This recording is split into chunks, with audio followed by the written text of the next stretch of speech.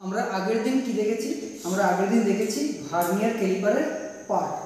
এই পার্ট আমি আগের দিন দেখেছি। আজকে কি দেখব? আজকে আমি এই ভার্নিয়ার ক্যালিপারটা কীভাবে চালাতে হয় বা এটাতে কীভাবে মাপ করতে হয় বা কীভাবে আমি রিডিংটা নেব? ঠিক আছে? আমি কি বলেছি আগের দিন? এই উপরে যে জগুলো আছে ইন্টারনালের জন্য মানে ইন্টারনাল কিছু ডায়ামিটার নেওয়ার জন্য আমি কি করেছি?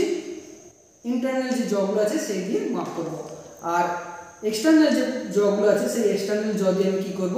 আমি কোনো অবজেক্টের এক্সটার্নাল ডায়ামিটার বা এক্সটার্নাল থিকনেস আমি মাপ করব। ঠিক আছে? আগের দিন আমি যেহেতু পার্ট দেখেছি এবং লিস্ট কাউন্ট বের করেছিলাম, আগের দিন কী হবে? সেটা আগের দিন বলেছি।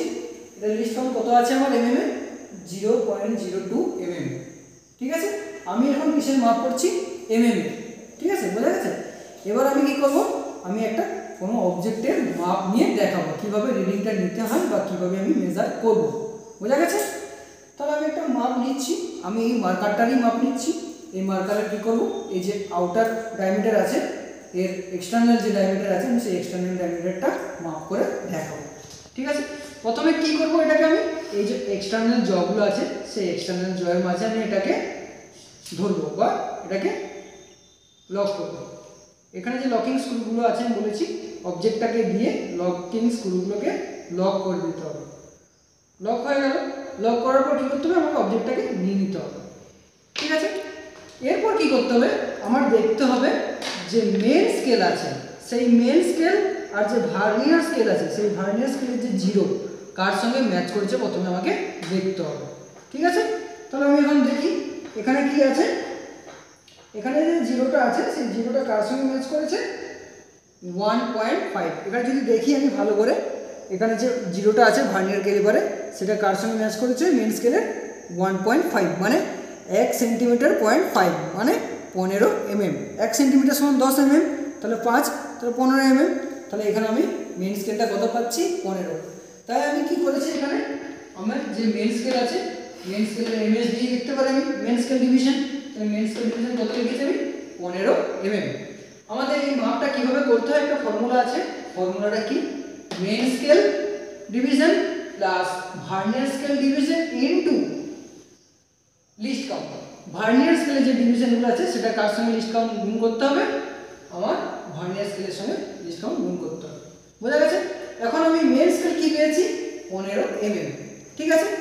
এরপর আমার দেখতে হবে যে ভার্নিয়ার স্কেলটা আছে সেই ভার্নিয়ার স্কেলটা যে ডিভিশনগুলো আছে, সেই ডিভিশনগুলো মেন স্কেলের কার সঙ্গে ম্যাচ করেছে, সেটা আমি দেখব। এখানে আমি যদি ভালো করে দেখা যায়, এখানে আমি দেখব আমার জিরোগুলোই ম্যাচ করেছে। যেহেতু দুটো জিরোই ম্যাচ করেছে, তাহলে আমি আর অন্য কিছু দেখতে যাব না, আমার জিরোটাকেই নিয়ে নেব। ঠিক আছে? তো দুটো জিরো যেহেতু ম্যাচ করেছে, তাহলে জিরো তাহলে জিরো হচ্ছে ভার্নিয়ার স্কেল জিরো ভিএসডি সমান ভার্নিয়ার স্কেল ডিভিশন বোঝা গেছে? তাহলে ভার্নিয়ার স্কেল ডিভিশন কি? জিরো তাহলে জিরোর সঙ্গে যদি আমি লিস্ট কাউন্ট গুণ করি জিরোই হবে। জিরোর সঙ্গে আমি এক, দুই, পাঁচ, ছয়, যাই হোক, গুণ করি আমার কী হবে? জিরো। এটা আমরা ছোটোবেলা থেকে জেনে আসছি ঠিক আছে? তাহলে এটা আমি জিরো গুণ করছি। এটাকে কী করতে হবে আমি বলছি? প্লাস মানে অ্যাডিশন মেন স্কেল আর ভার্নিয়ার স্কেলের যে অ্যাডিশন সেটাকে অ্যাডিশন করলে কত হয়? আমার এটা অ্যাডিশন করলে কি হয়? পনেরো এমএম তাহলে আমি এই যে অবজেক্টটাকে এখানে মাপ করেছিলাম, এই অবজেক্টটার মাপ আমি কত পেলাম? পনেরো এমএম বোঝা গেছে? কীভাবে মাপ করতে হয়? আরেকবার বলে দিচ্ছি, আমি এই অবজেক্টটাকে এখানে বসাবো। বসিয়ে যে লকিং স্ক্রুগুলো আছে লকিং স্ক্রুগুলো লক করে দেবো। লক করার পর এখানে আমাকে দেখতে হবে মেন স্কেল এই যে বিমটা আছে বিমে যে মেন স্কেল আছে, সেই মেন স্কেল ভার্নিয়ার স্কেলের জিরোর সঙ্গে কার সঙ্গে ম্যাচ করেছে, সেটাকে আমি নিতে হবে। ফার্স্ট আমি নিয়েছি কত নিয়েছি? এমএসডি এমএসডি নিয়েছি পনেরো এটার যা ডায়ামিটার সেটাই এসেছে, পনেরো এমএম এরপর আমাকে দেখতে হবে যে ভার্নিয়ার স্কেলে কার সঙ্গে যে ডিভিশনগুলো আছে মেন স্কেলে কার সঙ্গে ম্যাচ করেছে। তাহলে আমি দেখেছি এখানে জিরোর সঙ্গে ম্যাচ করেছে। তাহলে যেহেতু জিরোর সঙ্গে ম্যাচ করেছে, সেটাকে যদি আমি মাল্টিপ্লাই করি লিস্ট কাউন্ট জিরোর সঙ্গে যাই আমি মাল্টিপ্লাই করি, সেটাই জিরোই হয়। তাহলে এটাকে কি করতে বলেছি আমি? Main scale plus vernier scale তো প্লাস মানে কি অ্যাডিশন তাহলে এই দুটোকে আমি অ্যাডিশন করে কত পাচ্ছি? পনেরো এমএম বোঝা গেছে? তাহলে এটা আমার ক্যালকুলেশনটা বেরিয়ে গেল।